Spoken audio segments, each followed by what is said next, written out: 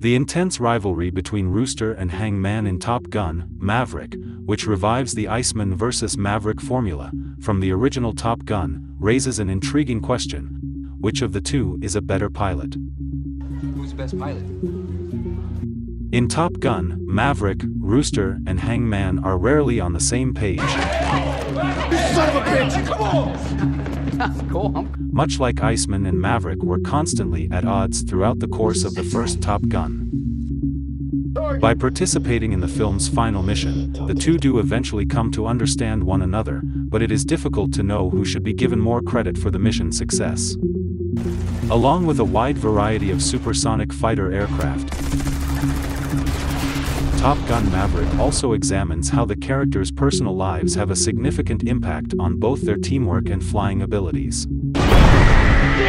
Due to his traumatic past with his father, Maverick can't help but feel protective of Rooster, but Rooster fights through his own self-imposed restrictions to prove his worth as a pilot. While Hangman exudes unmatched confidence, his arrogance prevents him from contributing to the team. Payback, increase your speed! Lieutenant Bradley Rooster Bradshaw immediately stands out as a potential leader due to his willingness to make a sacrifice for the group. He is hindered by his self-doubt and textbook approaches. Why are you dead? Not the plane, sir. It's the pilot. Exactly. Only when he listens to Maverick's counsel and discovers to trust rather than fear his flying instincts will he realize his full potential.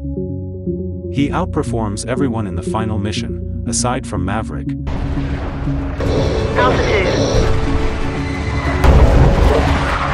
and even demonstrates extraordinary bravery by deviating from the group to save Maverick.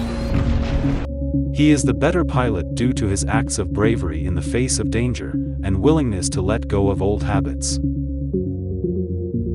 In contrast to Rooster, Maverick from Top Gun's overconfidence and arrogance is mirrored in Hangman. Despite his exceptional skill, he fails to serve as an example for the rest of his team because of his conceit, which keeps him from seeing the big picture. You put your team in danger and your wingman's dead. They couldn't keep up. But in the movie's opening training scenes, Hangman steals the show by showcasing his mastery of the air and even relishing every challenge. Hangman also gets a chance at redemption near the end of the movie when he sneaks up on an enemy aircraft and skillfully shoots it down to save Maverick and Rooster.